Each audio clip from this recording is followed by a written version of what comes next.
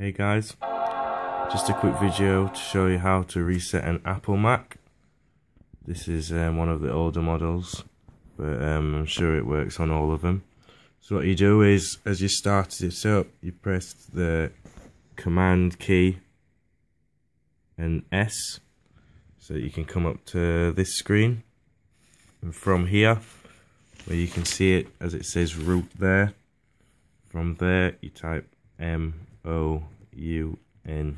T space dash U W space forward slash.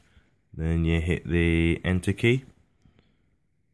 From here you then type R M space forward slash V A R forward slash D B forward slash dot Apple setup A P P L E S E T U P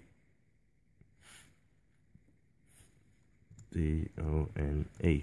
So it spells dot Apple setup done. And again, you press enter. Then from here, now what you type is shut down shut S H U T D O W N space dash H space now.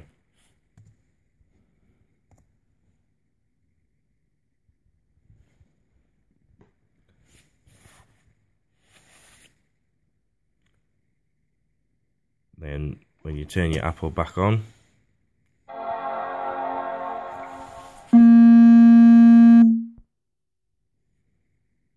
you'll be at this screen for a few seconds.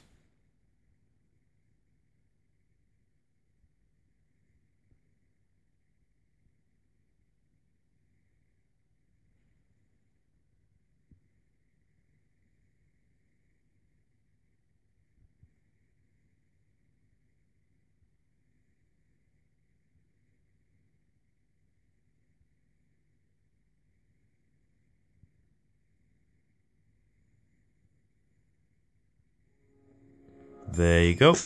Your Apple Mac is now ready for sale or just completely wiped back to the beginning from where you can then enter. Hope this helps. Um, please like and subscribe. If you need any help with anything else, feel free to message me. If I can help, I will help. Thank you for that. Bye.